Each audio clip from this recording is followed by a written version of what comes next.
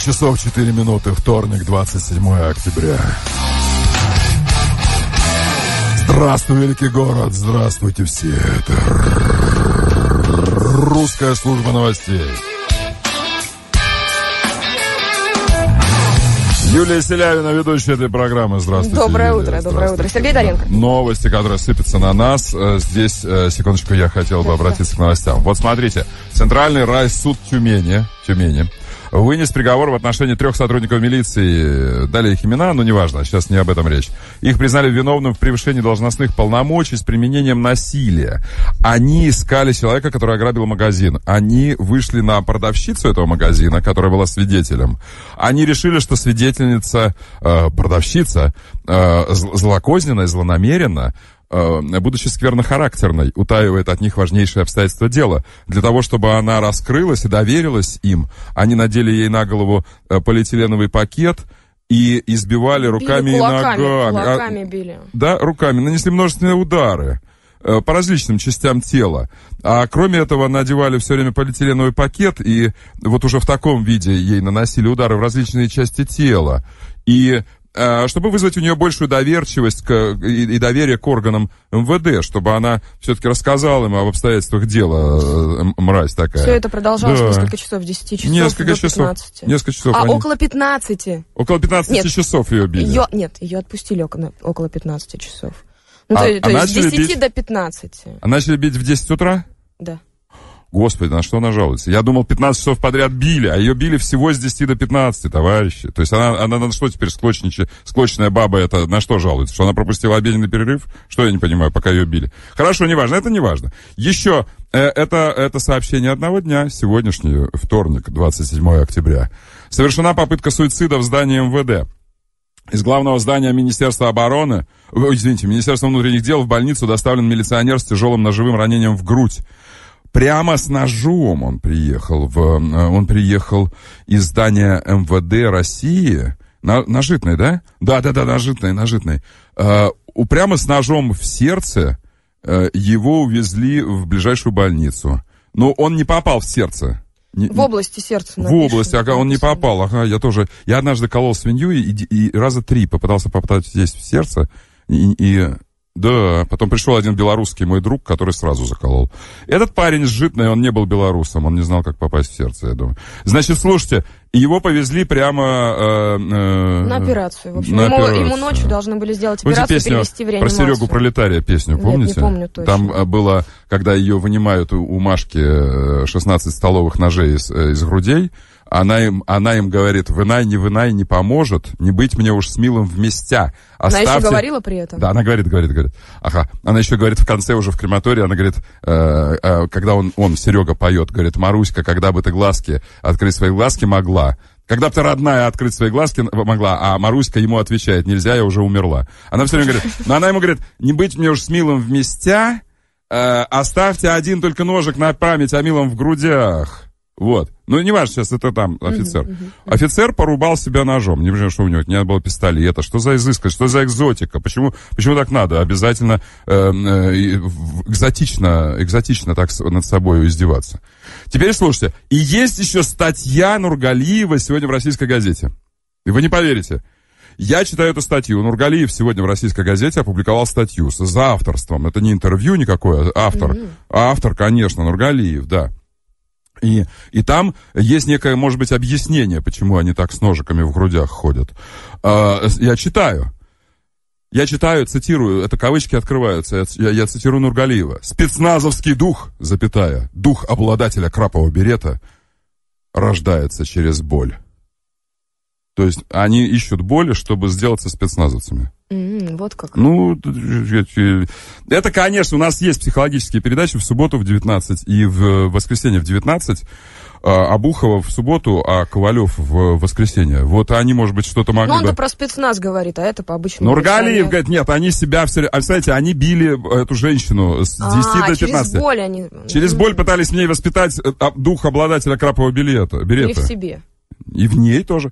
Спецназовский дух, дух обладателя крапового берета рождается через боль, пишет нам Нургалиев сегодня в российской газете, поясняя до какой-то степени происходящее, понимаете? До какой-то степени.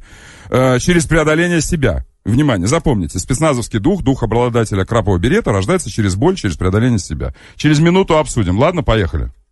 Министр внутренних дел России наш Рашид Нургалиев поручил начальникам региональных МВД, ГУВД и УВД ежемесячно принимать зачеты у милиционеров, имеющих право на ношение табельного оружия, сообщает РИА Новости. Вслед за РИА Новостями пишут все издания сегодняшние. Мы продолжаем с Юлией Селявиной. Юль, да. значит, вы знаете, что это значит? Зачеты? Вот, да, что зачеты? это значит зачеты? Ну, я не знаю, ну, обычно зачеты это чтобы после стреляли метко. Тувы, после Тувинского расстрела, это я думаю. Там, э, там джентльмен 25 лет перестал стрелял своих коллег 34, ну, 24 и 36 лет, до одного не дострелил, и после застрелился сам. А вот после этого, э, видимо, и по следам этого, министр внутренних дел России Рашид Нургалиев поручил принимать зачеты ежемесячно. Ну, я не понимаю. Я понимаю, и когда при, э, при, ну, проверяют на какую-то психологическую устойчивость, да, ну, ну насколько да. он здоров именно в этом Слушай, плане. а может им бром пить, э, ментам, э, в смысле милиционерам? Зачем? Ну, бром пить, бром. Чтобы не тряслись руки? Чтобы не быть взвинченными. А, ну, Чтобы да. не тряслись руки, пьют на атропил. А. Стрелки. Да, да, да, да, да. Может, наоборот, они, если у них не будут трястись руки, они уже точно... Они все... будут попадать... Э, друг в друга, друг в друга. Нет, а точно. а нужно, чтобы бром и на атропил вместе пили. Значит, еще смотрите. А, он также поручил региональным руководителям пересмотреть методы работы милицейских психологов. А до этого они что, их подзуживали? Васька, не попадешь в кольку. Такой психолог работал.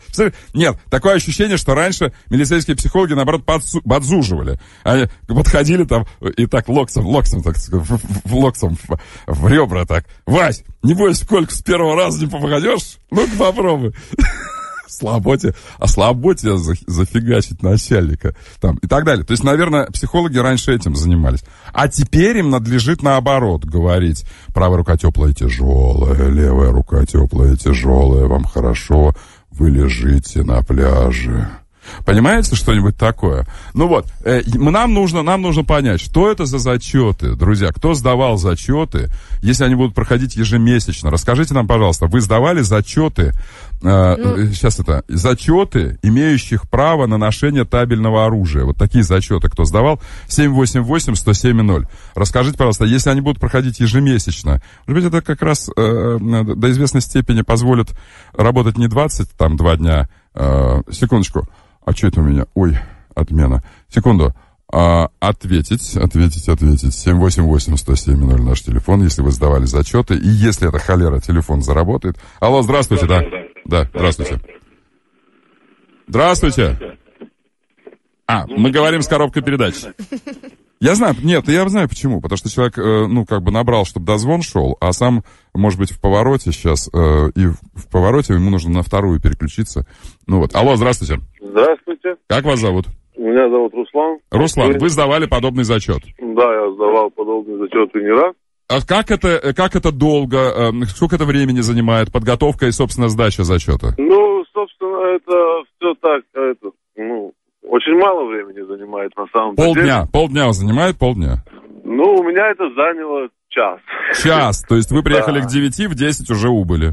Ну, где-то так, примерно так. Скажите, если каждый месяц это будет проходить, это не обременительно для подразделений? Это не обременительно. Не обременительно потому, что сами зачеты, насколько я знаю, я знаю, это хорошо проводятся. Так, как будто просто, что надо это сделать. Ну как? То есть это вы являетесь в ТИР, что ли, или как это? Нет, сначала ты являешься к, человек, к тому, кто ответственный за то, чтобы тебе выдали оружие. Да, раз. Он у тебя...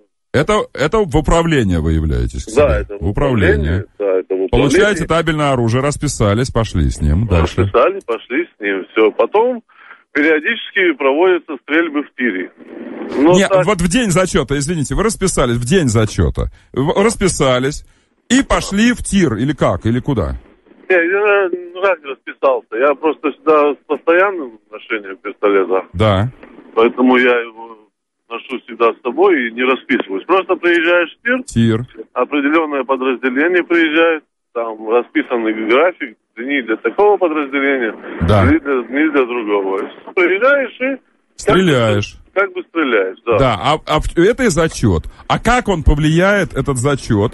Ведь, судя по приказу э, министра, речь идет о том, чтобы эти зачеты повлияли на э, каким-то образом дис- дисциплинирующе э, и сняли бы нервозность сотрудников. Это же после Тывы, это после Тувы, да? Ну да, да. Ну вот как это повлияет? Я приехал в тир, отстрелялся. И как это повлияло на мой морально-психологический облик? Я не понимаю самом деле это ну, никак не влияет. Я тоже, честно говоря, этого не понимаю. Да. И насколько я знаю других сотрудников, ну, тоже это не влияет. Это просто делается для того, чтобы будто что-то делается в борьбе с недисциплинированностью сотрудников. Понятно. То есть это как-то их, э, это как-то их вгоняет в какую-то матрицу. Так вот стрельбы, вот, значит, там инструктор. Но, может быть, большую нагрузку надо на психологов возложить? Надо, надо, на самом деле надо, потому что сами психологи, да. ну, с теми, с кем я сталкивался, угу. это все проводится так номинально, что, ну, как бы, они ничего и не выясняют, и не узнают. А если психолог твой знакомый, то ты вообще тем не более, тем более, сдавать. тем да. более, да. Ну как дела, ну как надо, это самое, да, с да, кем вот, был, да, с кем был выходные, пришел. то все, да, и все, да, и все. Ясно, спасибо вам огромное. Вот человек, который системно сдает, э, нам, нам позвонил слушатель, который системно обычно сдает эти э, зачеты. И он говорит, что с точки зрения морально-психологического климата и морально-психологического поведения данного конкретного сотрудника не очень понятно, каким образом зачет вдруг на него повлияет. Не очень понятно. Вот как зачет повлияет на то, чтобы не было соблазна вдруг начать стрелять. Алло, здравствуйте. Алло, слушаю вас. Ага, соскочил Ну, звонок. может быть, им будут там рассказывать, вы не должны стрелять друг друга. Нет, ну как-то да, ну как-то а, их при закалять. самообороне э, использовать э, И пистолет. какой самообороне? Никакой не самообороне. Вы сейчас научите милицию. Началось. Селявина подрывает боевой дух. Какой самообороне? Какой нафиг самообороне? Они должны преследовать преступника и так далее. Алло, здравствуйте. Э, Добрый день, Да, здрасте. Михаил. Михаил, вы сдаете эти зачеты? Э, Да, я сдавал с 91 года. Да, скажите, Вот. пожалуйста, если они делаются раз в месяц, каким образом это дисциплинирует и повышает морально-психологические качества конкретного данного сотрудника? Все это проходит формально. Так. Вот. Э, Если руководитель считает, что этому подчиненному можно доверять ношение, постоянное ношение оружия, то все это формально идет сбор подписей, да и все. То есть все зависит от начальника. Если я Конечно. вижу, что у меня э, господин X абсолютно чеканутый, взвинченный, и, и- и вдобавок именно, скажем, на этой неделе особенно взвинченный, э, то я ему говорю, давай, так сказать, там э, какие-то другие у тебя будут наряды, какие-то... Ну, то есть он будет приходить, получать, а вечером сдавать э, Да. табельное оружие. Вот. А то, что сейчас требует министр, это перейдет в формальные сдачи э, списков о том, что были проведены какие-то зачеты. Ну, А психологи, давайте тогда обратимся к психологам, потому что министр говорит также о том, что нужно пересмотреть роль психологов. Вот как их пересмотреть? Это сложно, скажем так, э, сложная тема с психологами на самом-то деле. Да. Э, Здесь не могу точную дать оценку работы психологов, так Да. как я ее на протяжении всей работы в органах практически не видел. Слушайте, а вы, вы, не- вы не сталкивались с мнением, что психологи главным образом все э, на самом деле шизики и извращенцы? Э, Да нет, нет. Нет, да? У нас были два психолога довольно-таки, э, я, я считаю... Солидные люди. Солидные, как Сен-Бернары. Но, да, да, ну ничего, скажем так, основной большой пользы от этого я не видел.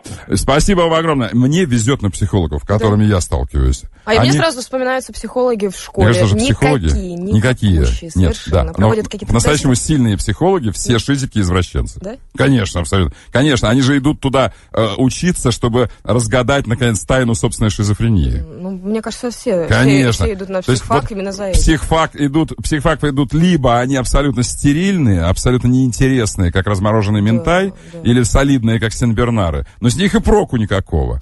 А, а, а настоящий психолог, он абсолютно шизик и извращенец. Он, он полон всяких тайных предчувствий, каких-то э, позывов э, перверсивных, чудовищных, страшных, понимаете? Он сочетает в себе все сразу. Он некрофил, геронтофил, еще чего-то. И педофил. Самое-то главное. Себе помогает. А, а, а, а, а, а тебе помогает сойти с ума и сделаться психологом рано или поздно. 9 часов 21 минута. Обзор прессы. Обзор печати с Юлией Селявиной. 9 часов 23 минуты. О чем пишешь? А, да, я обязательно расскажу. Можно да, скажу да, про да, СМС, да, потому да, что это развлекает меня невероятно. Чтение СМС меня невероятно развлекает. 925, а потом мы и в эфир кое-что читаем. 925 101 107 0. 925 код. 101 107 0 наш СМС. Ладно? Ура! Что же в прессе? А, а в прессе сегодня, давайте с российской газеты начнем. А, стволовые клетки МВД предлагают усилить контроль за оружием самообороны. В школе мы заговорили о, об оружии. Здесь речь идет в статье о травматическом оружии. Будет жестче контролироваться оружие, и надо будет сдавать теперь экзамены для того, чтобы получить а, разрешение на э, ношение этого травматического оружия. Это потому, оружия. что не, не с милиции, а потому, что друг дружку стреляют да. автолюбители. Автолюбители на дорогах, да, да это часто. Да. Российская газета об этом пишет. Сегодня мы будем в 11 часов часов обсуждать это. Слушайте, вчера был смешной случай. Да. Задавили человека в Екатеринбурге, э, значит, после чего вышли из машины двое мужчин и избили его ногами за это. Господи. Чтобы, чтобы не ходил где ни попадя. Угу. То есть они его сбили и уже лежащего пришли, отпинали хорошенечко. Сегодня а, пишут журналисты в основном об ограбленном а, безработном юристе из Новосибирска, у которого украли из съемной квартиры 6 миллионов долларов и 7 миллионов евро. Сегодня пишут об этом все газеты. А, думают, каким образом можно было поместить всю эту сумму в чемоданчик. Не получилось у журналистов московского комсомольца. А, также следствие сейчас и проверяет, может быть, сам юрист причастен к этому ограблению. Сегодня также газеты пишут о юбилее Николая Караченцева, ему исполняется 65 лет, а также о кончине Александра Пятигорского, это российский философ, переводчик, востоковед и писатель, он скончался в Лондоне в воскресенье, об этом тоже многие пишут сегодня. Итак, если останавливаться на отдельных статьях, «Коммерсант» сегодня а, пишет о том, что 16,5 миллиардов рублей выделит Минфин правительству Москвы. Это кредит. кредит и говорят о том, что начинают мириться Лужков и Кудрин. Также сегодня коммерсант пишет о том, что э, учения военные, о которых заявила Грузия, э, вовсе не учения, а тренировочный курс преподают американцы грузинским военным, которые отправляются в Афганистан. Вот вы понимаете, насколько, насколько э, для американцев сюрприз э, их новые грузинские друзья? Понимаете, да? Да, да, да. Представьте, что, что вы американка и что вы курируете направление Грузия. Понимаете, это, это, это же головная боль днем и ночью. Мне кажется, нужно уже заявить. Э, Чего? Что, американцы, ну, американцы, какой-то момент, а, товарищи американцы, я надеюсь, нас кто-то из американцев слушает, когда они вам э, успеют надоесть уже окончательно, когда вы поймете, что с этими абсолютно шалопаистыми, бедовыми детьми Э, вы не, совершенно не можете управиться, они просто как мыши, как тараканы разбегаются по столу постоянно. Вы отдайте им на, на, на, на, назад на, нам, ладно? Мы, сказать, мы умеем с ними, понимаете?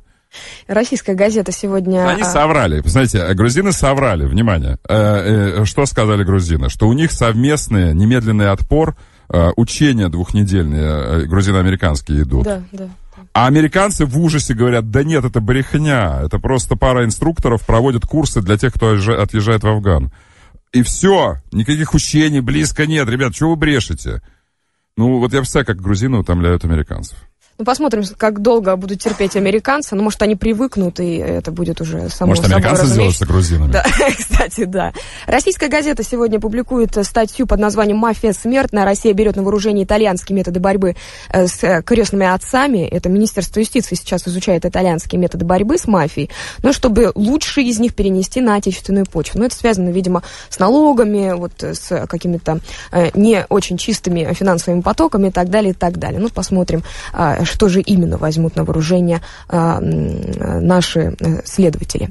Так, э, еще российская газета сегодня пишет о том, что в Приморье предложили сократить время, временную разницу между Москвой и Владивостоком до 4 часов. Там местный депутат с такой инициативой выступил. В московском комсомольце также можно об этом прочитать сегодня. А МК сегодня... Смотрите, смотрите, его что... все посчитали придурком, этого депутата, который сказал, что между Москвой и Владивостоком... У вас другое снять... мнение, я так понимаю. Нет, я как раз, когда все дружно хохотали, и все считали, что он придурок. Я э, вспомнил, что между Москвой и Пекином 4 часа э, зимой и 5 часов летом. То есть у нас зимой, когда у нас нет этого фальшивого летнего часа и так далее, 4 часа разницы, понимаете? Угу. Ну вот, так что не надо его считать сильно придурком, уж, пожалуйста, я умоляю. Это вот эта надутость часовых поясов нарочно сделали, чтобы э, как бы нас было много все время. Ну, часовых поясов. От этого величие крепнет. Да? Вы Да, я думаю. А иначе зачем? Ну, вы знаете, что Москва живет э, на полтора часа вперед э, зимой и на два с половиной часа вперед летом. То есть мы живем как по Волжье. Долж... Ну, понятно, да? Значит, мы живем по Поволжью, вот туда вот, по, по Уфе, Москва. Э, Если бы Москва вернулась э, в нормальное расположение свое, европейское, и была бы у нее, ну, на час, по крайней мере, еще откатилась, то как раз было бы 5 часов с Владиком и нормально. Ладно, к другим новостям. Арестован чиновник мэрии Москвы. Речь идет о начальнике отдела Департамента жилищной политики и жилищного фонда.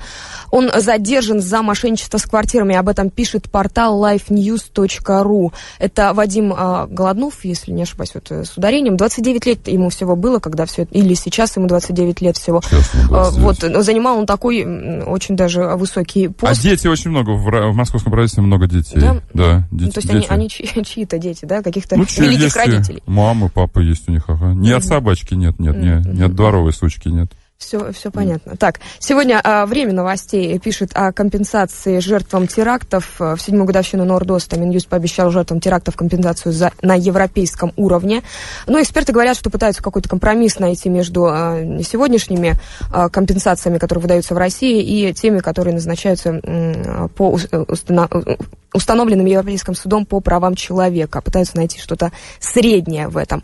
Также сегодня «Комсомольская правда» пишет о московском метрополитене. Вернется ли в московское метро станция Сталинская, задается вопросом. Э, Публикуются фотографии, как было и как сейчас, насколько часто фигурировал раньше образ Сталина а, на станциях метро. Ну и вообще вот эта тенденция к чему может привести как по возвращению вот гимна, например, да, строчек из гимна и в целом образа Сталина в московском метрополитене.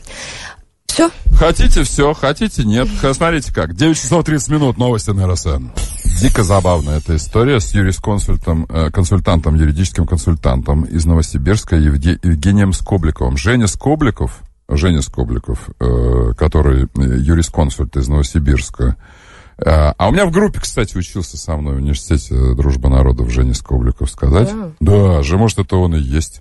Я, мне, мне прям даже приятно. Он жил на Соколе в то время, ни в каком ни Новосибирске нет.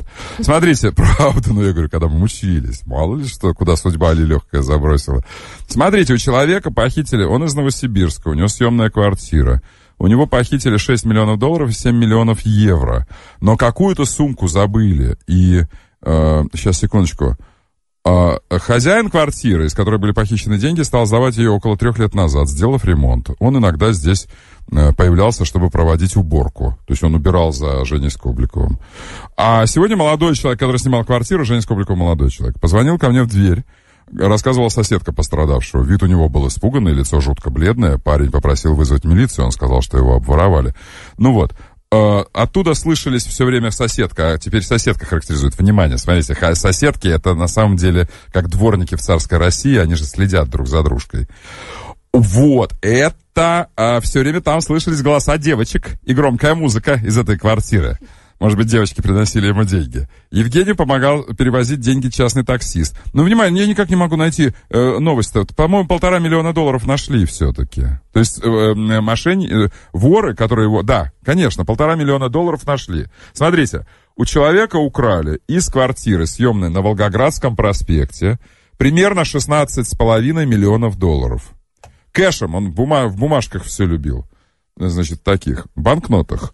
Полтора миллиона долларов преступники не взяли, потому что в спешке одну из сумок пренебрегли они пол, полутора миллионами в спешке. А может быть, оставили ему, знаете, как на чай или, ну, знаете, чтобы как-то... Чтобы не так обидно было, в конце Чтобы не концов. так обидно, конечно. В старое время в Комсомольске на Амуре, когда у вас забирал э, Битюк э, пачку сигарет, он вам одну всегда оставлял из интеллигентных побуждений. Э, чтобы, ну, как бы, чтобы вам было что покурить. И ему дали полтора миллиона из 16,5, то есть 10% ему оставили воры. Понимаете? В этом... Скажите, очень. скажите, что за диво? Давайте, давайте, э, потому что все об этом говорят, и все об этом пишут, и все удивляются. И теперь сейчас пошла новость, что это его наследство какое-то, 16,5 миллионов долларов у этого мальчика, э, у которого все время хохотали девочки. Скажите, все-таки давайте как-то разрешим эту загадку, потому что не обсуждать это нельзя. Все это обсуждают. Это обсуждают в автобусах, это обсуждают в метро, это обсуждают на кухне. Это самое крупное э, воровство. Это, ну, кража. Да? Самая крупная да, кража самое в крупное. истории чего?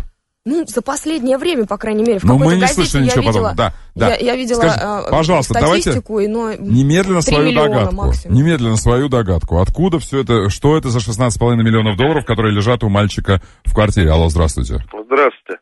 Ну, как вас зовут? Андрей. Андрей, Судя откуда вы, Андрей? Москвы. А, 917 код просто я подумал. Ага, ну ничего. Мгм. Ну, здесь ситуация такая, это э, общак определенный. Ага. Вот, а мальчик решил его увезти в сторону, а чтобы паяльник ему не вставили, решил объявить, что это кража. Вот и все. И таких А. случаев было много. То есть это были деньги, которые вообще не его. Он был представлен к этим деньгам. Он должен Конечно. был просто их... э, Он был э, престолоблюстителем, если позволите. Конечно. И он, и он общакоблюстителем, если, если позволите. И он, значит, в какой-то момент э, ему девочки, может быть, рассказали, что с этим сделать. И он по- побежал, быстро побледнев, э, к, соседочке и сказал. А, а что же он полтора миллиона оставил, дурак, тогда? А ну так, чтобы вот не все подумали, что действительно своровали часть, часть забыли.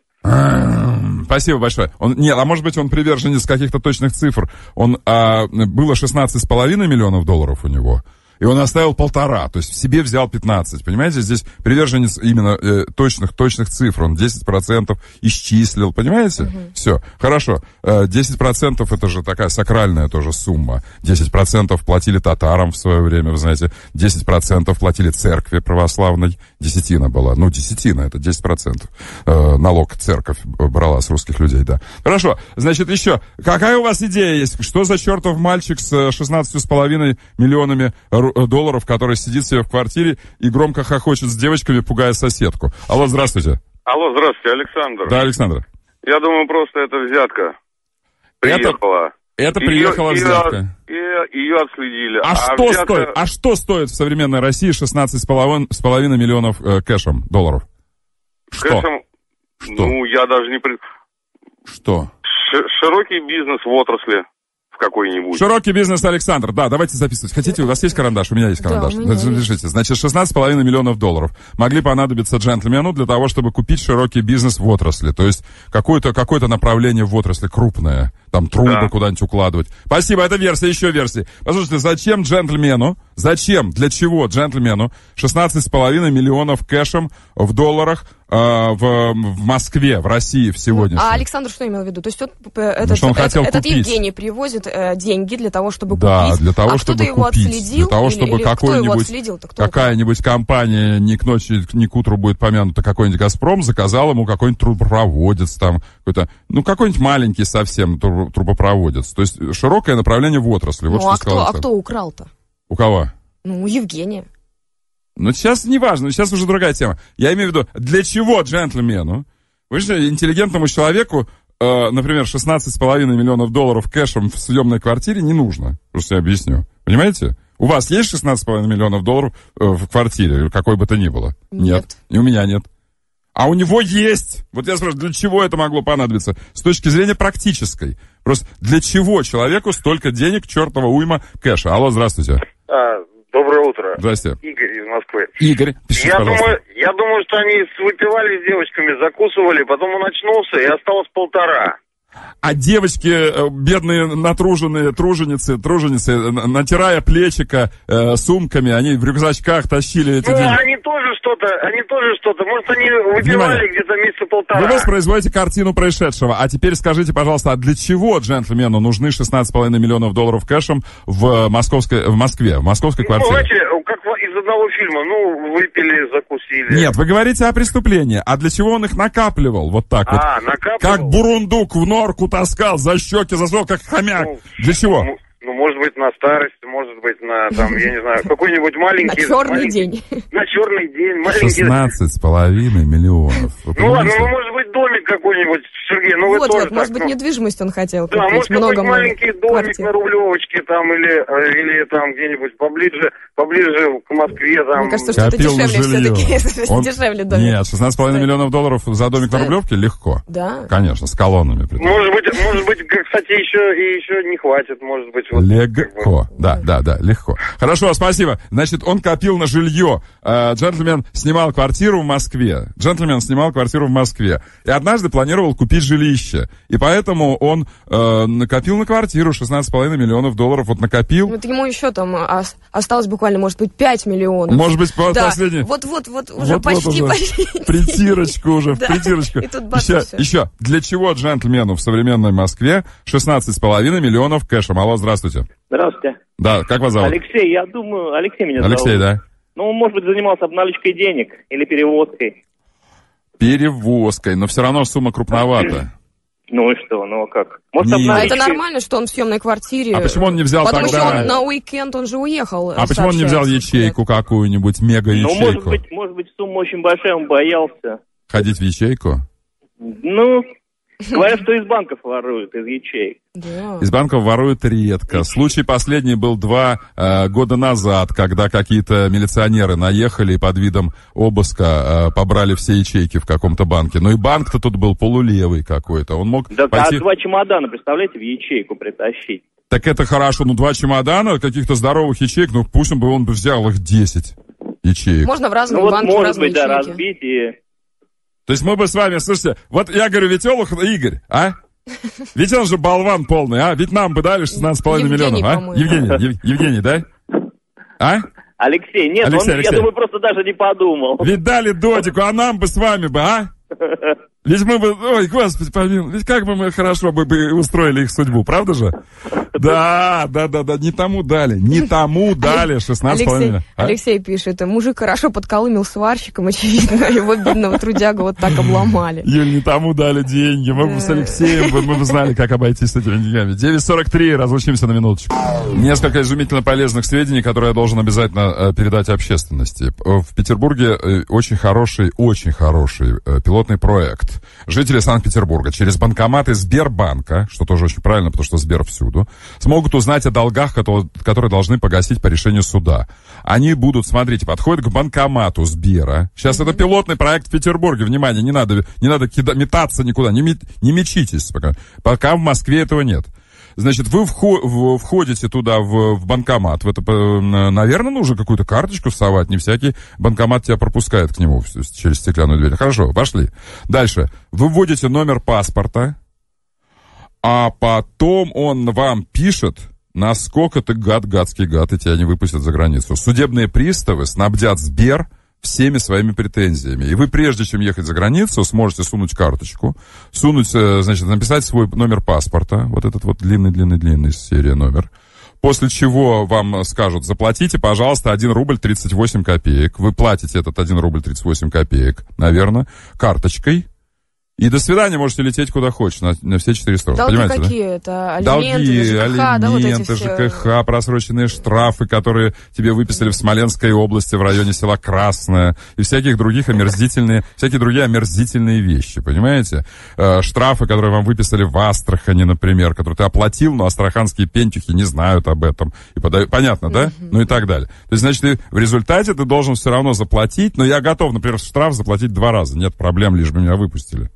Меня, для меня же главное, что меня, на меня это обрушится прямо уже на паспортном контроле. Ты мне хоть за неделю скажи. Понимаете? Ну и так далее. Вот эта проблема. Значит, в Питере, кажется, ее будут решать. И это хорошо. Еще. Под... э, секундочку. А, под Минском упал самолет, пять человек погибло, и, и драма, драма в том же, это Хокер, это BA, BA, British э, Aerospace, э, BA 125-800, это бывший Хокер э, назывался, машинка хорошая, семь, семиместная, я, ну вот, очень хорошо, и, и с любовью к ней отношусь, упала около Минска, пять человек погибли, и э, ужас, э, ужас ситуации в том, что, кажется, они ехали в казино Шангрила, то есть они ехали в казино, и, и вот такая вот неприятность. Да, и еще понимаете? известно, что там погиб глава авиакомпании, Да. как раз вот, которой принадлежал этот самолет, Да. авиакомпания СЭР, Марат Ромашкин. Да.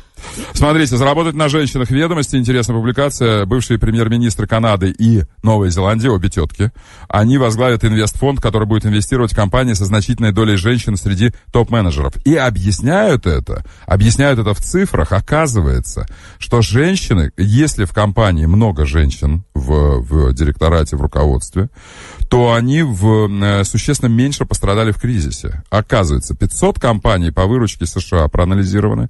В четверти компаний с самым высоким представительством женщин в совете директоров доходность капитала была на 53% выше, чем у четверти компаний, где женщин-директоров было меньше всего. Взяли четверть высшую по женщинам и четверть низшую. Так вот, четверть высшая по количеству вашей сестры, тетки, Ну, ну. девки, э, на 53% успешнее в бизнесе. О чем это говорит? Что бабы лучше Надо думают? при- Черта с два. Мужики Что? в присутствии баб действительно думают лучше. Да? Да, конечно, потому что бабы Ну, а как... как- ну как Нет, же это? Что это курицы? Отвлекающий фактор, ну, Кто? ну женщины. Они тонизируют? Они- ну, наверное. они. Ну, может быть, не знаю, они, может быть, тонизируют, но это статистика, да. что я могу сделать просто в статистике. По мне так мешают, но... Мне а, кажется, просто женщины собраннее, женщины ответственнее. Нет? Может быть, в этом причина. ба- а- Они- а причина одна из двух. Либо в присутствии женщин мужчины работают лучше, и поэтому прибыли там, где больше женщин выше, либо, либо э, женщины работают за мужчин, э, и тогда прибыль выше. У но вот- женщин нет личной жизни, может быть, поэтому. Там, может быть, а, женщины 30-35 лет, не Женщина замужем, делать, дела. делать, э, в общем, вот нечего. устраивает нечего. свои дела Вот таким работают, образом. работают, работают. Женщина устраивает свои дела таким образом, чтобы все, что они не делают, было личной жизнью, уж поверьте мне, я знаю. Я, я, да, да, да, все, абсолютно все при этом, абсолютно все, у них не бывает. Хорошо, значит, э, и последняя тема, которая принципиально важна, и, может быть, за одну минуту мы примем еще и звонок. Послушайте, мало отдачи, президент критикует, э, критикует э, так, ну, покровительственно отечески критикует оборон, оборонку русскую. Если вы помните, а может быть вы помните, мы говорили о том, что оборонкой прирастет научно-технический прогресс в России. Это была идея, которую предлагал нам филолог, известный, известный российский филолог Сергей Иванов, в то время э, э, министр обороны. Ну, знаешь, он фил- филфак кончил ЛГУ. Ну вот. Значит, известный российский филолог э, Сергей Иванов предлагал нам через перевооружение и через оборонку поднять страну э, в модернизационном смысле.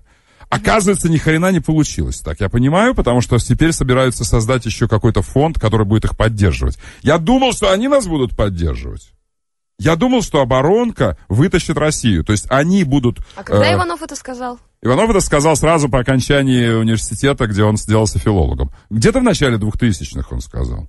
Мгм. Так с тех пор они все время пытаются нас вытащить. Ну, еще, они, оборонка. не- ну, Результатом времени стало... Ну, а, мало времени? М, Но- Ну, сколько надо, сто лет? Нет, нет, смотрите. Значит, а, президент Дмитрий Медведев сказал, что им теперь опять надо поддержку, специальная федеральная программа по поддержке ОПК. Кто кого поддерживает? Послушайте, битый не битого везет. Ну, битый не битого везет. Мы совершенно, смотрите, все в рванине, совершенно грязные, зачуханные и так далее. Мы еще добавок должны их поддерживать. Но Сергей Иванов в самом начале говорил, что это они нас будут поддерживать. Ну, елки, я уже запутался. Потому что, ну, разве не так? Ну, разве не так? Ну, хотелось бы, но, но не так. Битый не битого везет. Они нас должны поддерживать, они нас должны вытаскивать. Они локомотив. Я слышал об этом, а, я об этом слышал. Они локомотив, они вытащат Россию. Хрена. Мы должны теперь их вытаскивать. Ребят, кто-то перепутал, кто есть кто. Честное слово. Лошадь перепутала и битый и не битого. Поехали. 10, ч- 9 часов 51 минута. Подъем. Фондовый рынок. Прогнозы и комментарии. 9 часов 53 минуты. Лев Быстров, аналитик фонда биржи РТС на связи с нами. Лев, доброе утро. Доброе утро. Как поживаете? А, ну, несмотря на то, что вчера были все предпосылки к снижению российский А вы росли? рынок. А Да, сегодня-то уже снизитесь, наконец-то. Ну, сегодня уже должны, на самом Должны, деле. обязаны. действительно. Америка второй день подряд закрывается снижением э, чуть больше одного процента. А как вам доллар? Э, Доллар тоже у нас э, действительно все-таки немножко... Ну, это на, на самом То деле есть последние 5 называется минут гад растет. Доллар. э, То есть наоборот, до- евро растет. Смотрите, 1,49, 1,49,17 в эту секунду. Да, и, соответственно, ну, сегодня ждем действительно все-таки открытие уже вниз. Э, По ситуации будем смотреть в течение дня. У нас все-таки будут новости. Да. Э, Это, в принципе, ни много ни мало у нас будет э, индекс цен на жилье, индекс доверия потребителей по США. И, в принципе, ну, ситуация пока что развивается так, что у нас до этого момента активности основной не будет. И, в принципе, рынок уйдет, ну, скорее всего, опять по голубым фишкам, как и на вечерней сессии, в среднем на 1% вниз. Смотрите, я еще раз хотел наших слушателей внимание обратить на курс, на Форекс Форекс, потому что за эту ночь доллар драматически вырос. Мы видели его вчера на 1.50-17, что-то в этом роде, в, это, в эту пору, да, а э, я вижу его ночью на 1.48.0 и даже на 1.47 Э, нет, на 1.48, э, извините, 1.48.80, 1.48.75 ночью, Ну, ночью. Может быть, кто-то из крупных игроков просто пытался... Да, а сейчас он рынок. опять начал падать. Но он все еще выше, доллар все еще выше вчерашних значений, но опять падает. Все, спасибо вам, хорошего дня. Вам тоже. Спасибо, до свидания. Подъем. Русская служба новостей. В движении. Спонсор выпуска ОАО «Лукойл». Производитель нового топлива «Экта Плюс». Благодаря высокому качеству и новому модификатору трения, «Экта Плюс» увеличивает мощность двигателя до 7,5%. «Экта Плюс» – мощь, которая убеждает. Цыганка, цыганка, цыганка. Матвеева пришла, торгуется. Сколько ей времени дать? Я говорю, цыганка. вместо- Чистая цыганка. 9.55 в движении. В движении. Пока, пока, до спорта. 788-107-0. А, э, где едете? Что видите? Расскажите нам о движении в Москве. 788-107-0. Алло, здравствуйте. Брррр. 788-107-0 наш телефон. Расскажите о засадах, а расскажите о пробках, расскажите об авариях. Что объехать, что объехать. Алло, здравствуйте, как вас зовут? Алло, здравствуйте. Ну что, я, я э, удрученно констатирую, что телефон это тоже до, до какой-то степени достопримечательность нашей студии. Это, это э, то, что называется телефоном. Алло, здравствуйте. Здравствуйте. От Ленинского до Дмитровки и дальше до Алтуфьевки. Все хорошо едет. Сейчас в районе Алтуфьевки в обратную сторону тоже хорошо едет. Как вас звать? Сергей. Сергей, хорошего дня вам, счастливого дня, Спасибо. хорошей езды, до свидания. Еще 788-107-0. А, где едете, что видите? Расскажите нам о движении в Москве. Алло, здравствуйте, как вас зовут? Э, Секундочку, секундочку. Алло, слушаю вас. Алло, здравствуйте. Здрасте. Очень плохо э, движется шоссе энтузиаст. Шоссе энтузиастов в центр, да? Да. да. Напротив вас что вы видите? На, на встречке? На встречке скорая едет. Ну так, спокойно, более-менее спокойно все, да? Да, да. Не видите аварии, ничего не видите? Нет, нет. Есть. Вот и скорая, вот и скорая. В подтверждение ваших слов. Спасибо, хорошего дня. Еще а, один звонок. а, Еще один звонок, пока цыганка Матвеева а, надеется меня отсюда схарчить каким-то образом с этой студии и сделать обзор спорта. Алло, здравствуйте. Алло, здравствуйте. Да, как вас зовут? Здрасте.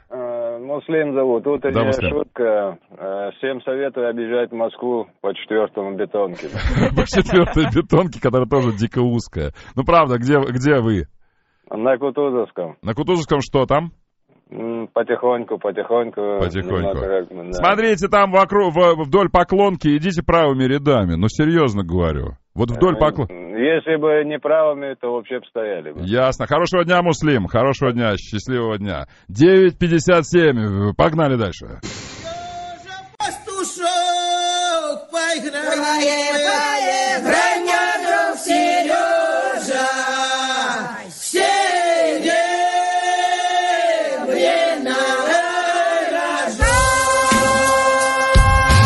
10 часов 4 минуты, вторник, 27 октября.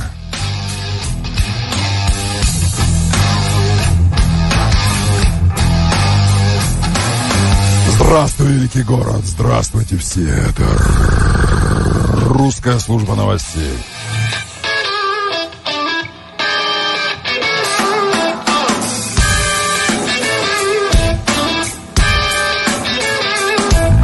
Юлия Селявина, ведущая этой программы. Здравствуйте, Юлия. Здравствуйте, Смешная Сергей- новость. Сергей Доренко. Чего? А вы Да. нашли? А Юля я- нашла новость. Значит, да. сейчас пришла новость 9.54, что милиционер, вы помните о том, что мы вам рассказывали, что житный милиционер с ножом в сердце, прямо там, с, но- с ножичком, а, в зоне сердца, он пришел в больницу, э, то есть его доставили в больницу. Теперь выясняется, пошли подробности в 9.54. Во-первых, не, при- не доставили, а пришел сам с ножиком в сердце. Во-вторых, товарищи, внимание! Он сказал, это просто несчастный случай. Он... э, Это не криминальное происшествие. Основная версия несчастный случай, говорит Несчастный а, представитель пресс-центра МВД. А зачем он засунул себе ножичек в область сердца, этот э, э, несчастный случай? Этот несчастный случай с житной. Зачем Может быть, он что-то он резал, резал ножик? на себя, возможно. Ах, не режьте на себя! Ах, не же, может, он чистил кар- полено кар- какое-нибудь. Может, он картошку чистил. Может быть, он выстругивал буратино. Может быть, может быть, чего-то... Не режьте на себя, пожалуйста. И вы верите в эту ахинею? Парень, значит, вчера, оказывается, нет, вчера. э, Попытка самоубийства. Засадил нож в область сердца. Это вчера было сообщение. И потом э, ночью тоже. Э, В больнице там, ну и все такое, ну он мимо сердца промахнулся.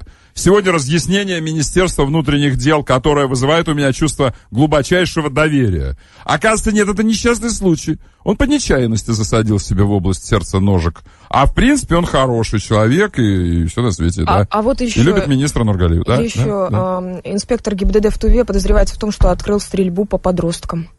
Э, Молодой человек и девушка были госпитализ- госпитализированы с огнестрельными ранениями. Учащийся. Об этом в да. СКП. Да, да, да. А это Сообщает. 17-летний учащийся 11 класса местной школы. 17-летний э, подросток, э, наверное, он вел себя выживающе. Может быть, шел, жил, дышал. В общем, вел себя как подонок. Очевидно, пришлось стрелять. Я, слушайте, да, еще, раз уж мы говорим о... о- о- переходим еще к одной теме, которую вы раскрыли отчасти в своем обзоре прессы, но не до конца. Россия берет на вооружение итальянские методы борьбы с крестными отцами, пишет Владислав Куликов в сегодняшней российской газете. Министерство юстиции РФ изучает итальянские методы борьбы с мафией, чтобы лучшие из них перенести на отечественную почву. Э, Кто, кто-нибудь знает эти итальянские методы? Возможно, опыт иностранных комиссаров может оказаться полезным для наших, э, пишет э, и рассказывает Александр Коновалов еще. Он готовит масштабную программу сотрудничества с Министерством юстиции Италии. Будут не только протокольные, но и реальный обмен мнением, опытом, конкретные шаги по внедрению новых технологий в борьбе. Кто-нибудь знает эти итальянские методы? Товарищи, прямо вот один звонок, если кто-то э, итальянские методы знает. Каковы итальянские методы? Расскажите, пожалуйста, и как они сработают на русской почве. Э, понимаете ли? 788-107-0. Если вы знаете итальянские методы. Если не знаете, не звоните, потому что по-настоящему тем у нас очень много, и мы не собираемся долго зацикливаться на этой, на этой теме. 788-107 и 0 наш телефон в студии. Э, при этом я пытаюсь нажать, и при этом он пытается работать. Алло, здравствуйте. Здравствуйте, Да, как вас зовут? Здрасте. Александр. Александр, вы знаете эти методы, охарактеризуйте их, пожалуйста, тезисно, и как они сработают в России. Ну, надо поставить своего человека пр- премьером. Говорят, у них премьер тоже замазан там крепко. А, то есть нужен такой премьер. Нет, Ну ну, да. э, вы, вы, вы, вы все-таки, вы все-таки не, не из Италии. А? Да, конечно. Вы не ездите в Порто дей Марме, нет, нет. Нам такой нужен премьер. Нам нужен, нам нужен э, кто-то, кто, кто, кто э, хорошо разбирается в теме. Но неважно, послушайте, мы не будем это обсуждать. Я просто хотел вам сказать, что есть такая тема. Сегодняшняя российская газета «Мафия будет побеждена итальянскими способами». Мне кажется, что для этого прежде всего русская мафия должна э, избрать для себя итальянские способы. Понимаете, да? Существование? Конечно. А какие? Чем, ну, чем они она отличаются? должна измениться. Российская мафия должна сделаться итальянской, чтобы к ней подошел ключик на 10. А может быть и нужен ключик на 13. Понимаете? Но видите, есть- они же выборочно, наши-то выборочно будут брать э, методы. То есть э, самые лучшие, пишет российская газета, будут использовать. О, ну, и Боюсь, опыт. что будут использовать итальянские методы. Итальянские методы будут использовать, понимаете, э, против русской мафии, которая не подчиняется итальянским способам э, и так далее. Понимаете, в чем дело? Ну, ну, Ну да, вот. да, э, понятно, понятно, да, сложно. Значит, колорадский жук должен знать, что с ним борются, и вдобавок согласиться, что это и есть борьба с ним, и вдобавок э, в какой-то момент откидывать ножки.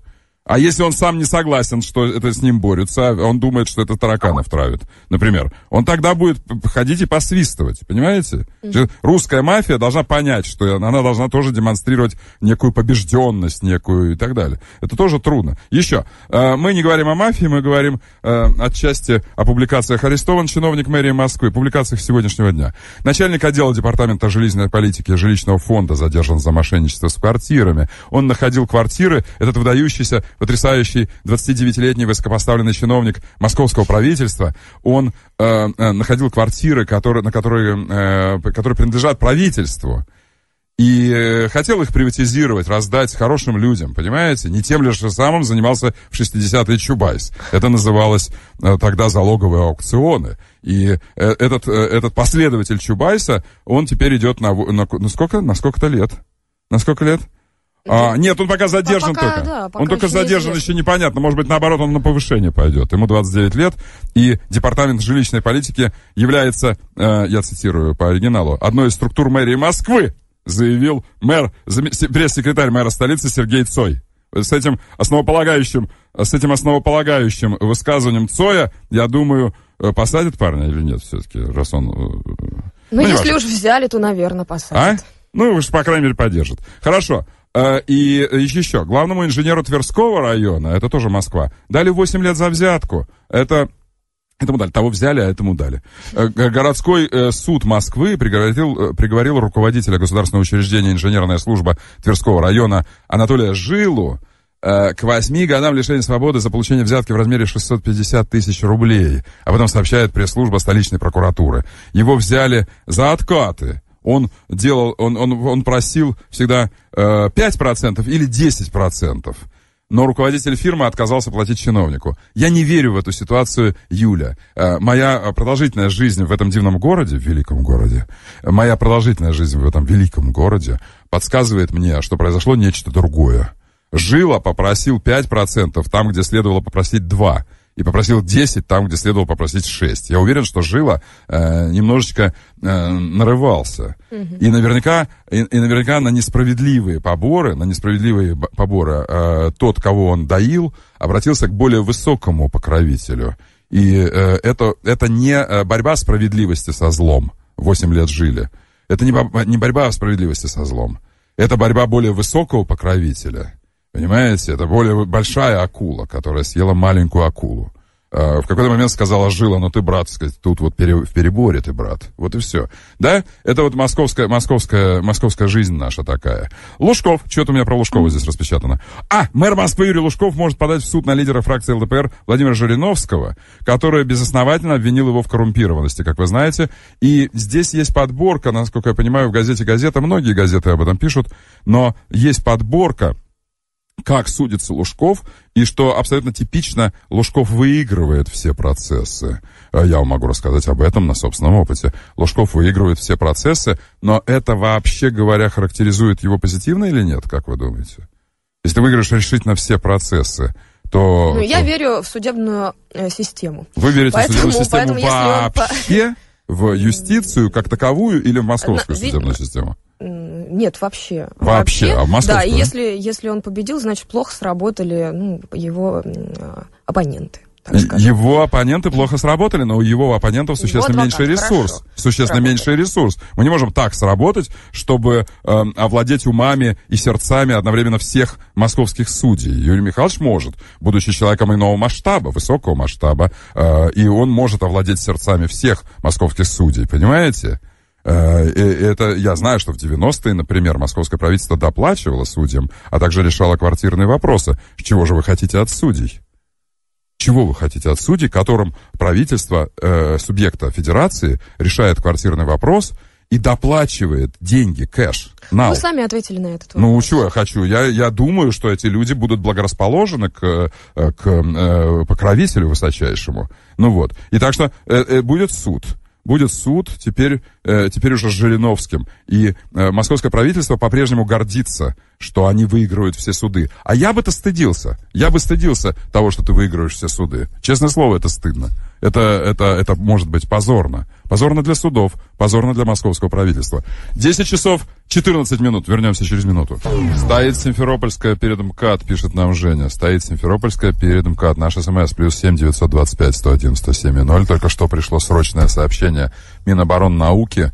Минобр э, извините, Минобрнауки ограничила до пяти количество вузов, в которые абитуриент может подавать заявление. Вы помните, это было рассуждение и указание, и пожелание, и обсуждалось на разных уровнях, вплоть до президентского, э, вот во сколько вузов может подавать абитуриент свои заявления. Теперь все, вот срочное сообщение Минобрнауки ограничило пять вузов, в которые абитуриент может подавать свое заявление после И- ЕГЭ. Да, и не более чем на три направления одновременно. Не более чем на три на- направления? Ну, в каждый Хорошо. вуз, я так понимаю. Ага, слушайте, э, сегодня в «Ведомостях», э, сразу после выборов 16-19 октября Левада-центр провел всероссийский опрос об отношении к слухам о, о коррумпированности московского правительства.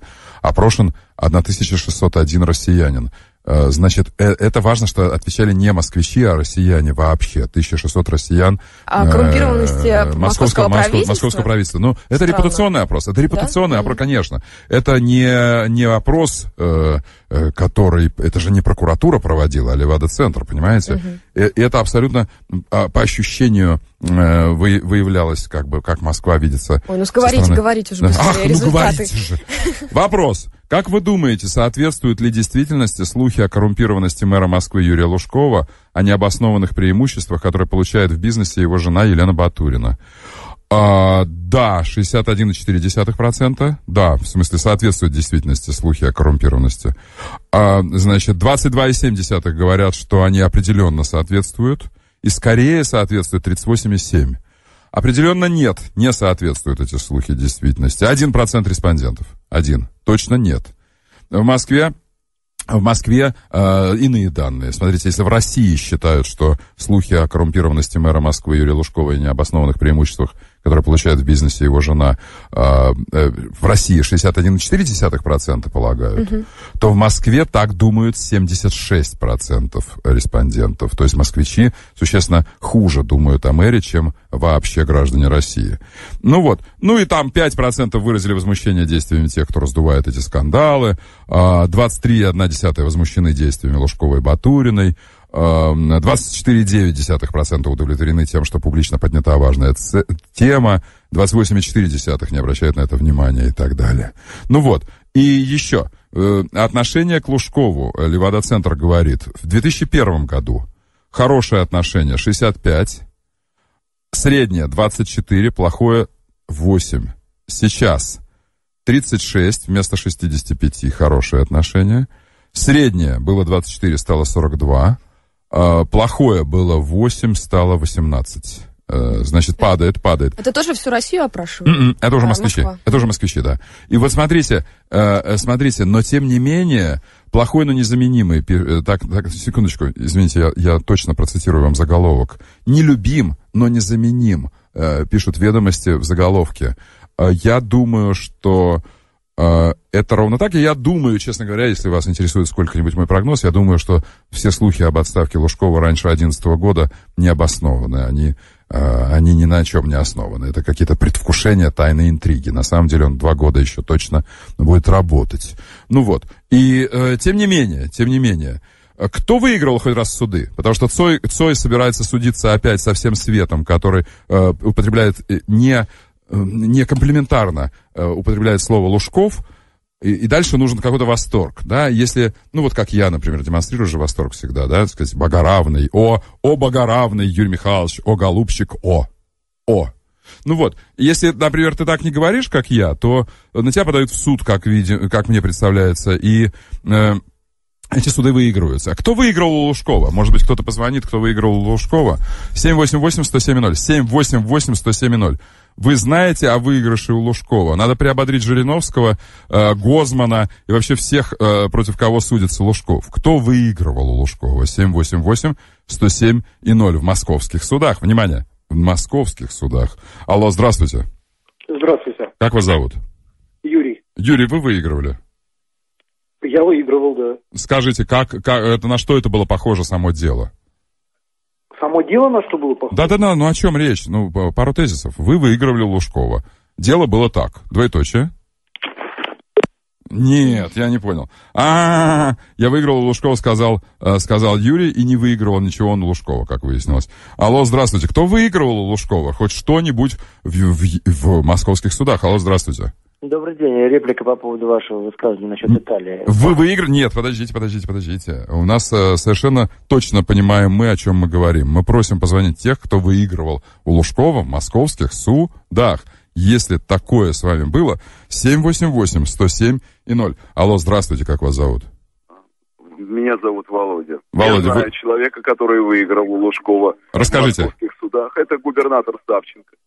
И он выкинул команду Лужкова из своей Белгородской области. И хочу сказать, что неплохо знаю, в общем-то, Жириновского. И уверен, что в московском суде и Верховном суде он его раздавит, как просто раздавит в одно касание. А, но реш- решение... Подождите, вы, вы имеете в виду публичную сторону дела, да?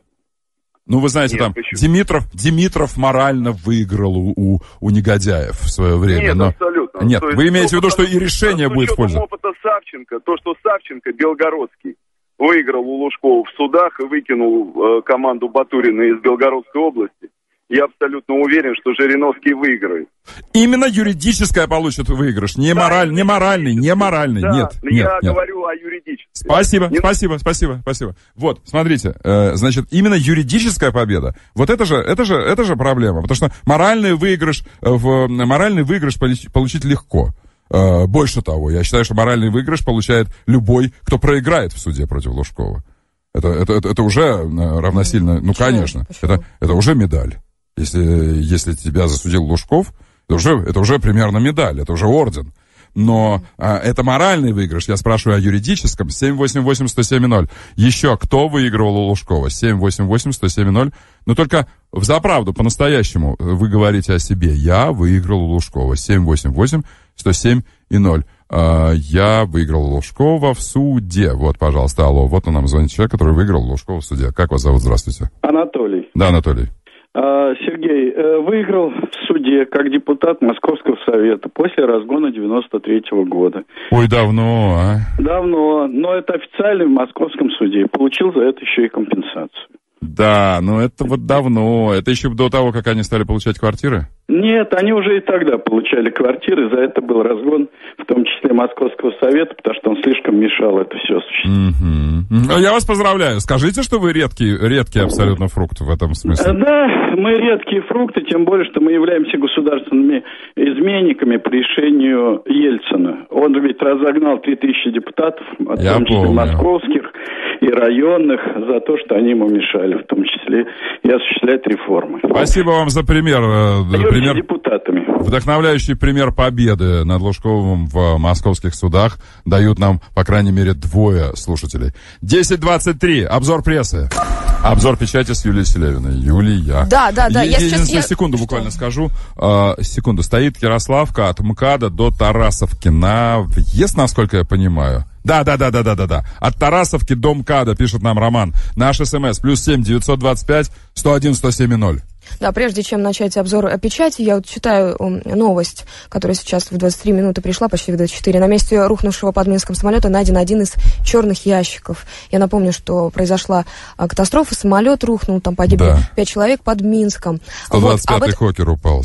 Да, об этом можно также почитать на портале а, lifenews.ru. Здесь подробно с фотографиями, кто И с фамилиями. с фамилиями, а, да, в том числе и глава авиакомпании СР погиб. Да, читайте об этом а, lifenews.ru. Также, если говорить о газетах, то сегодня все газеты пишут об ограбленном безработном юристе из Новосибирска, у которого м, украли 6 миллионов долларов и 7 миллионов евро. М, При этом оставили еще полтора миллиона долларов, э, ну, в общем, в одном из чемоданчиков. По рассеянности. Сейчас, сейчас его подозревают э, в, в том, что он сам к этому каким-то образом причастен, ограбленный юрист молодой. Вот, все, все следят за этой историей, потому что очень крупная сумма, таких сумм э, вообще не было за последнее время. А вот наши слушатели пишут на смс плюс семь девятьсот двадцать пять сто один сто семь ноль, пусть покажет номера банкнот, потому что они думают, что, может быть, это не был общак, может быть, это вообще ничего не было. Может быть, вообще не было денег, понимаете, совсем никаких денег. Зачем, зачем все это нужно, я не понимаю. Прослыть знаменитым. Прослыть знаменитым. Да он ладно, был, ну. что жил себе, он жил себе Женей Скобликовым из Новосибирска. А теперь он Евгений Скобликов с 16,5 миллионами. Понимаете, о чем я говорю? Никогда не было вообще никаких денег, может быть. Может быть такое? Да Не знаю, не знаю. Я очень сомневаюсь, что ради того, чтобы твоя фамилия прозвучала в газетах, а, можно на такую пуститься авантюру. Итак, сегодня также многие-многие пишут газеты о юбилее Николая на это, Караченцева. написали. 65 лет ему исполняется сегодня, об этом многие пишут сегодня. Так, если останавливаться на отдельных статьях, то в «Коммерсанте» сегодня пишут о премьере Монголии, который уходит не вовремя. Эксперты полагают, что новый премьер а, будет допускать иностранцев к недрам страны по принципу наибольшей выгоды для Улан-Батора. И, в общем, это будет для нас совсем невыгодно и почти не оставляет шансов российским железным дорогам получить угольное месторождение Талант-Алгой. «Коммерсанте» сегодня об этом э, читайте. Российская газета сегодня пишет о том, что в ближайшее время автомобилисты должны будут укомплектовывать свои аптечки по новым правилам. Количество бинтов вырастет, а лекарств не будет, в том числе и привычных обеззараживающих растворов йода и зеленки. Читайте об этом в, Мос... в российской газете. Ну, сообщается также, что э, начнет действовать вот это правило по новым аптечкам с июля 2010 года, чтобы успели все подготовиться э, к этому нововведению. Московский комсомолец сегодня пишет о том, что а, в, на кладбищах можно будет устанавливать электронную книгу «Память». На могиле усопшего родственника это 19-дюймовый сенсорный монитор, заключенный в корпус из черного алюминия. А, устройство предполагается вооружать на постамент возле захоронения или вмонтировать его в гранитную надмогильную плиту. И, в общем, можно будет почитать а, на экране информацию об усопшем и оставлять сообщения для родственников, если кто-то приходит и вот э, каким-то образом пообщаться с родственниками через такие сообщения. А, кроме того, э, обратите внимание на статью в «Известиях». Там журналисты а, вместе с началом осеннего призыва следят за призывниками. При этом фамилия одного из них сообщается, другой инкогнито будет э, служить. Это некий такой эксперимент. И «Известия» новости начинают его сегодня, будут публиковать статьи. Ну, кстати, если уж заговорили о известиях, то там кадровые перестановки, об этом тоже пишут газеты, российская газета, например. Виталий Абрамов теперь будет э, главредом газеты вместо Владимира Мамонтова, который становится президентом газеты. Такое бывает. И э, сегодня время новостей пишет о компенсации жертвам терактов, о том, что э, Минюст собирается увеличивать э, компенсации примерно до европейского европейского уровня. А, чем все это закончится, читайте. И а, вот на этом все. Сейчас новости на РСН. 10 часов 34 минуты. Русская служба новостей. Про вас знать. Мы продолжаем с Юлией Селявиной. Юля, смотрите, значит, нельзя пить энергетики. Вы знаете, что да, если это, хочется это не, не спать, хорошо, да. если не да, хочется не спать, то лучше выпить пуэр. А если нет пуэра, то поесть лимонник китайский Шисандра Mm. Шисандра. А, если, ты идешь совсем ночью, ни а тебе нет? нужно... И вот киоск, и нужно как-то взбодриться. Ночью. Да, ночью. И там на виде работу, киоска можно взбодриться уже, э, уже визуально, потом- визуально А увидев вы, вы киоск. такие экзотические какие-то методы рекомендуете? Человек должен пить пуэр, либо лимонник, либо лимонник да. На каждом дальневосточный, шагу продается. либо уже в конечном счете кофе на каждом шагу. Смотрите, 17-летняя девушка скончалась от передозировки энергетика, находящегося в свободной продаже, сообщает Интерфакс. Пензенской области девочка 17-летняя, кровоизлияние в печень, она пила энергетики и у нее произошло кровоизлияние в печени. Не обязательно, э, не обязательно на всех это распространяется. Внимание, ну просто подумайте, что вы пьете, Господи, помилуй. Уж лучше э, водки вы Да, ну, выпила. не, не знаю. Но вообще сейчас нужно отметить, что сейчас многие вот просто сидят на энергетиках, пьют постоянно по несколько банок и еще, еще пьют с водкой вместе. То есть с какими-то крепкими напитками где-нибудь там в клубах. Потом у них руки дрожат, у них глаза блестят, у них Зато бодрешь такой. да, всю ночь. такой, и не знаешь от чего это, от энергетика или от водки. Главой сельского совета 9 лет подряд был человек, состоящий на психучете. Я хотел обратить внимание всех э, людей, которые работают, у, у- работают таким образом, не начальниками, а подчиненными. Если вы работаете подчиненными, смотрите, э, я хотел обратить ваше внимание, как работал этот джентльмен. Он 9 лет превосходно работал главой сельсовета. Он, он руководил селом очень хорошо, то есть По наоборот. какой оценке? Оценка такая, чем он характеризовался, в отличие от руководителей других сел? Он э, очень активный был чересчур. Это я читаю цитату из... э, одна из жительниц рассказывает. Активный был чересчур.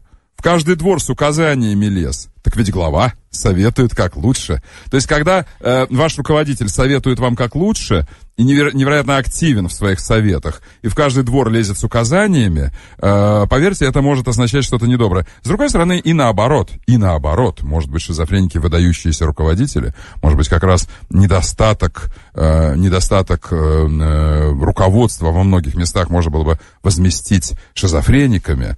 Он, оказывается, 9 лет скрывал диагноз и попался. Ну, ладно, это просто курьез. Каким, интересно, э, А он себе в табель написал, Образом. что... Ну, он в табель себе написал, что он эм, после аварии там что-то лежал, а на самом деле за 10 дней зарплату, то есть схимичил, и потом, когда начали расследовать, подняли документы, непонятно А. почему, что он скрывал, что он шизофреник. Ясно. Какой-то такой вот, какой-то бойкой формы. Бойкой формы. Но он шизофрении. же, он же полежал немножко, э, там, а, полечился. Уже столько времени прошло, может быть, э, или шизофрения. Э, на, на- на- на самом деле я хочу вам сказать, что у меня-то первая мысль была, что шизофреников не хватает. Вот мне бы казалось, может быть, э, эту тысячу президентскую каким-то образом. Потому что нужно, э, нужен какой-то кадровый резерв.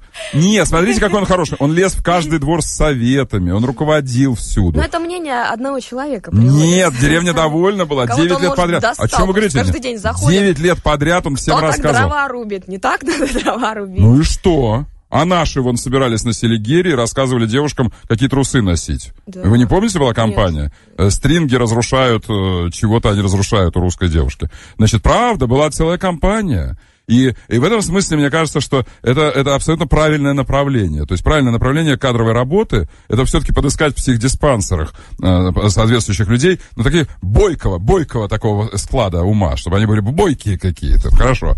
10 часов 37, почти 38 минут. Через минуту вернемся, еще тема есть.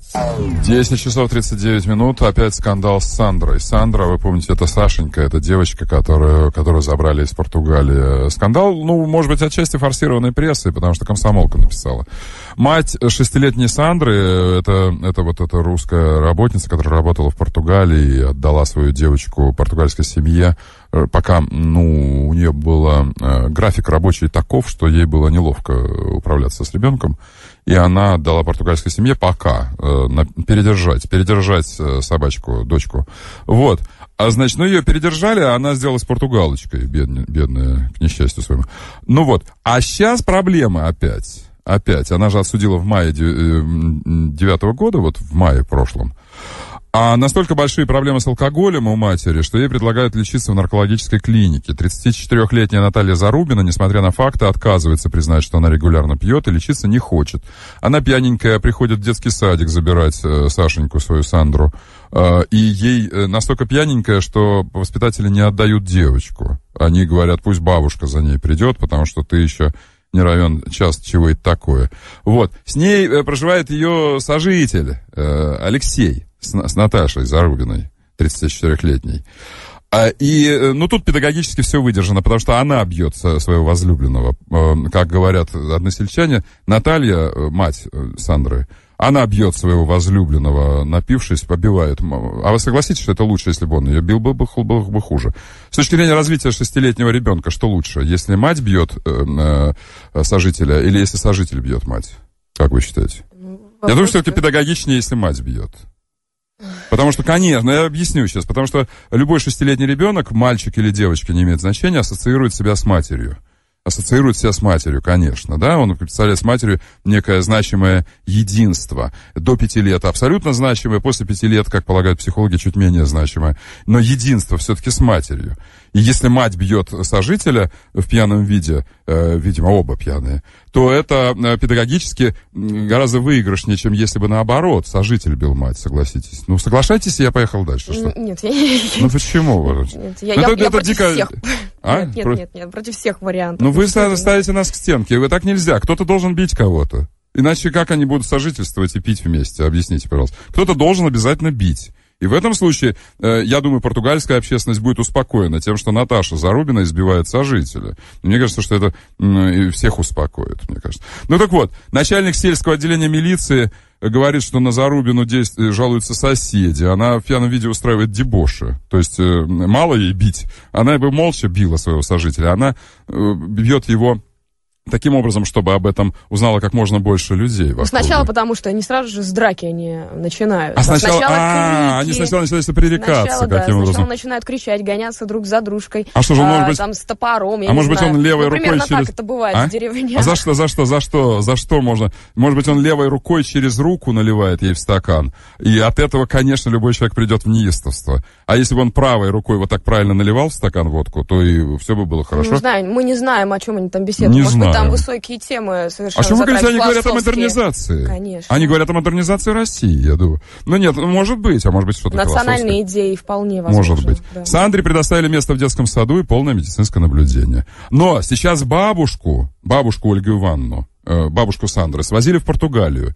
В Португалии ей рассказали, бабушке, где для них построят кафе, там какой-то фонд помощи или что-то такое, португальцы, значит, для Наташи Зарубиной строят отдельное кафе, которое собираются ей передать в собственность, если она приедет жить с Сандрой, ей дадут вид на жительство, подарят кафе, которое передадут в собственность.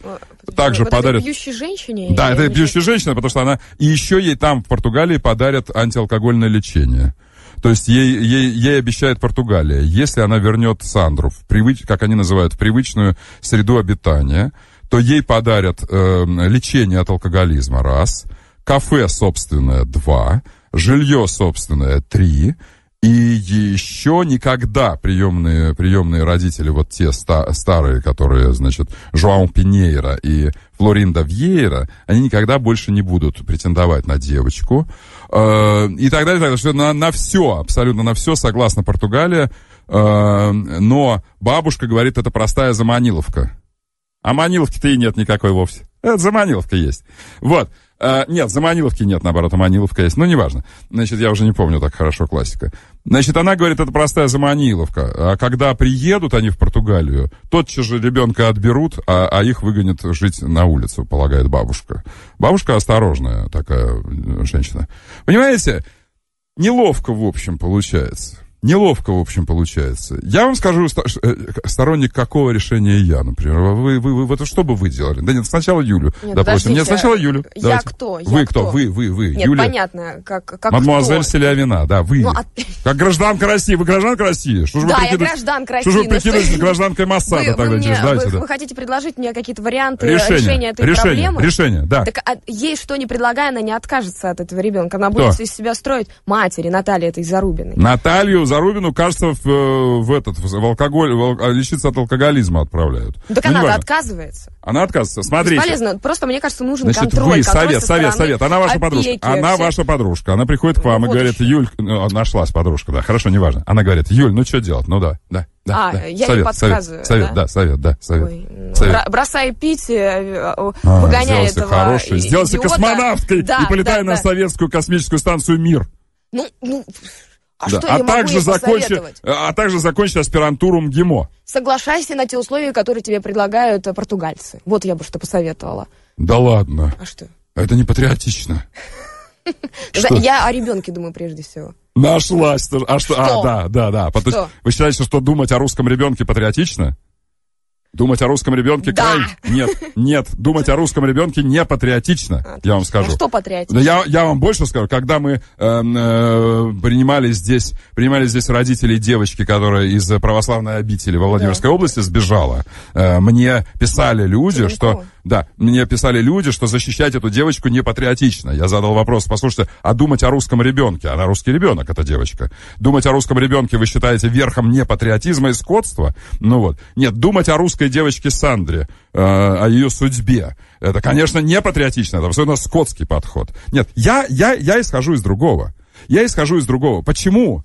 Я спрашиваю наших слушателей.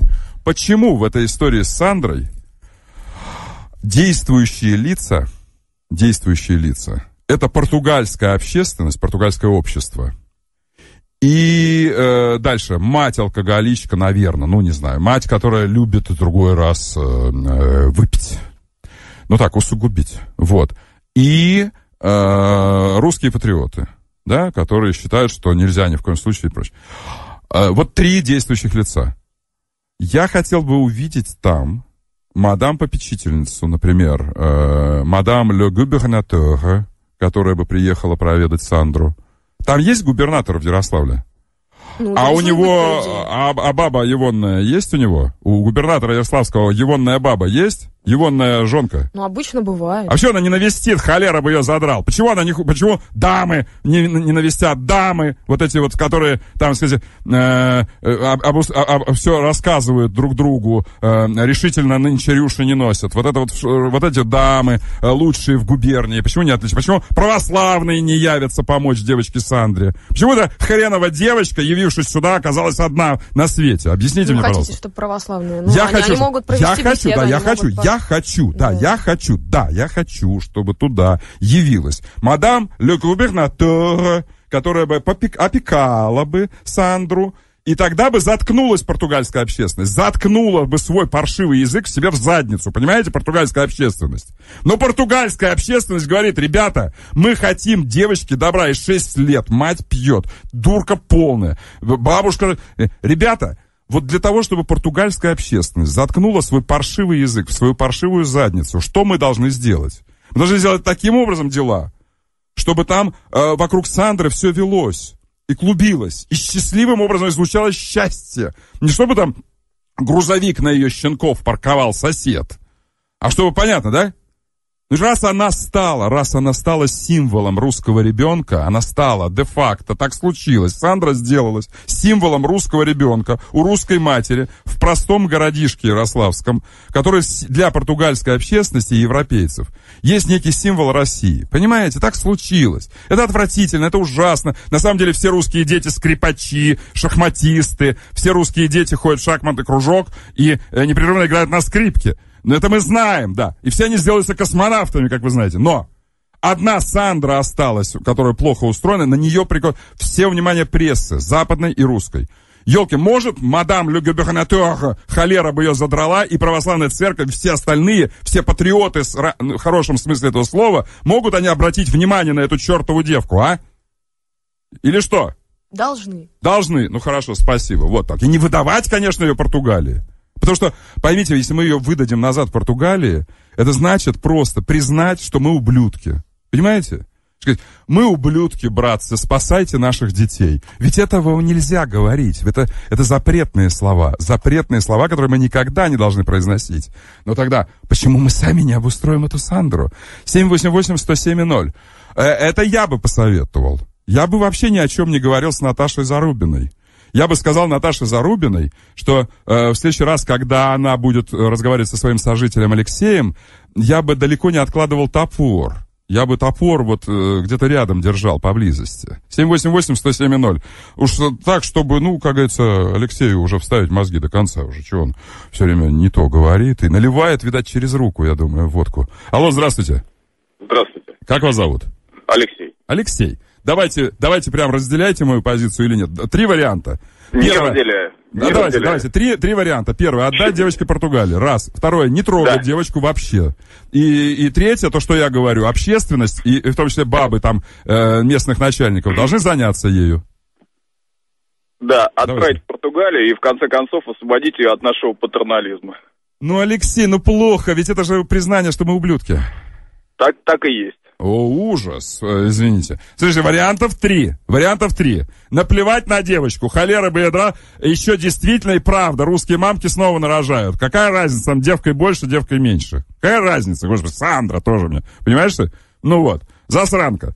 Значит, оставить все и так, как есть, пожалуйста. Второй вариант. Это все-таки отдать ее Португалии.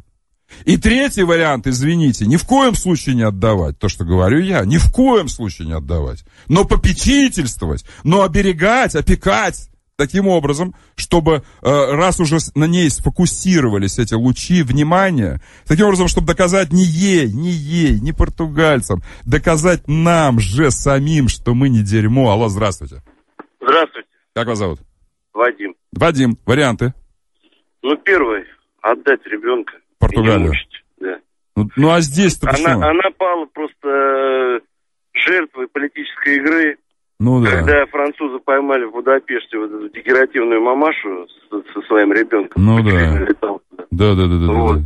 Сразу в ответ, значит, откопали эту бедную Сандру, наши дипломаты. Ага. И почему-то, почему-то португальский суд вернул ее. Вот ну, потому вот, что это биологическая, и... потому что биологическая мать. Да потому что идиоты повелись на, политическую конъюнктуру. Нет, а чем вам мой вариант плох? Почему э, жонка губернатора, дивонная баба, не опекает Сандру, например? Чтобы Вопрос. пиарить свою жонку и свою задницу. Не, ну пусть бы, пусть бы пиарились. Боже мой, пусть ну, бы для пиара. Ребенку-то, ребенку-то от этого будет не А вдруг она не сделается космонавткой впоследствии? Не сделается. Ни, Нельзя. Не. А вдруг она сделается танцовщицей из живота в барах Хургады потом впоследствии? Да. Вы своего да. ребенка отправите в Ярославскую область? Первое время я не хотел бы. Чтобы он там космонавтом стал. Первое время не хотел бы я. Ну а сейчас вот Нет. подружиться. Нет, вот первое время не хотел. Вы думаете о Сандре то же самое, вот и все. Ну, видите, вы пораженчески настроены. Все мой боевитый мой дух не находит отклика никакого. Юля. Совершенно, да. Юля. Даже если будет э, жена губернатора приезжать в эту Ярославскую область, Попик хоть каждый ходит. день, да Попик хоть каждый день ходит. они будут ходить, она будет жить со своей матерью, которая привыкла так жить. Она привыкла пить, она привыкла скандалить, она, она не будет по-другому разговаривать. Они хоть пусть заходятся каждый день там, каждую минуту, Внимание, все равно она будет с не матерью. хотят, португальцы не хотят различ- разлучать ее с матерью. Португальцы говорят, пусть она пройдет курс Они- реабилитации. Вот, они предлагают Они ей курсы подарят кафе, они ей дарят кафе, средства Они к думают, жизни. что она Да. Изменится под влиянием окружающей среды другой. А здесь она живет... и, Ярославле. э, возмо- возможно, они и правы. Я не знаю, может быть, они заблуждаются. Может быть, это наивно, что А что она это исправится. из-за того, что тут циклоны, а там антициклоны, да, все время? Там антициклон, там же, там же вот этот антициклон, который э, прямо вот от, от Майами лупит аж, 34 года аж она уже Лиссабона. алкашка. 34 года Значит, она уже все, алкашка. все так, все так там. А, то есть это некий дух местности такой. Это, это, да, да. Это, Может быть, это от того, что там знаю. в Все Лиссабоне все время все- антициклон и солнышко, может быть, из-за этого? Ну, не знаю, прям мне горестно с вами. Слушайте, чего вы такие пессимисты, а? Ну, что такое, не пойму. Ну, неужели э, мы- неужели мы беспомощные? Ну, что вы, ребят? Ну, что значит, начинается ерунда какая-то. Я бы, наоборот, нагнал туда попов, целую роту попов, мадам ле губернатор, мадам ле вице-губернатор, э, мадам э, председатель суда, мадам ментовская жена, всех баб туда нагнал, потому что они опекают ее, лелеют, вылизывают, э, гладят ей фарточки и так далее. Эй, алло, вы чего, дегенераты? Ой, в смысле, в хорошем смысле, сограждане? Подъем. Русская служба новостей. В движении. Но нет движения, смотрите, от Тарасовки до МКАДа стоит Ярославка, потом еще-то что-то нам много написали, правда, все, все стоит э, э, в плохом смысле этого слова. Давайте, 788-107-0, расскажите нам о движении в Москве. 788-107-0. Алло, здравствуйте, как вас зовут? Алло. Алло. Да, добрый. Значит, э, внутреннее третьего кольца затруднение э, где-то от Рязаночки и до Волгоградки как минимум. Да. 20-40, не больше. При... Причину не видите? Э, простите? При... причи- Причину не видите там, нет аварии, ничего. Да нет, это просто Волгоградка съезд так сделал. Я прошу прощения, э, можно к предыдущей теме небольшой анекдот? Давайте не будем, потому что у меня Света Матвеева смотрит на меня, цыган, она же цыганка, ужас, э, своими глазами огромными цыганскими. На меня смотрит Матвеева, а я у нее секунды отнимаю от спорта, понимаете? Алло, здравствуйте, как вас зовут? Где едете? Что видите? Расскажите нам о движении в Москве. Алло, Алло, добрый день. здрасте. О, Ленинградка стоит вообще ужасно. Да, необычно, да? Вообще необычно, вот, э, вроде как должна двигаться, Ага. светофора-то нет. Вот, вообще ползем километров 10, наверное, в час. Ленинградка стоит ужасно. Спасибо за предупреждение. Хорошего дня вам. Еще один звонок я успею принять. Нет, не успею. 10.57. Ура. Слушайте, я вам оставляю Юлию Селявину с заголовками дня. Кто у вас сегодня? Сегодня из российской газеты будем а, табельное оружие обсуждать. контроль Табельное над ним. оружие, ра- это контроль над ним, потому что там экзаменами какими-то хотят обвешать все эти травмопистолеты. И я вам оставляю Светлану Матвееву с обзором спорта, а я пойду и проживу его этот вторник, 27 октября.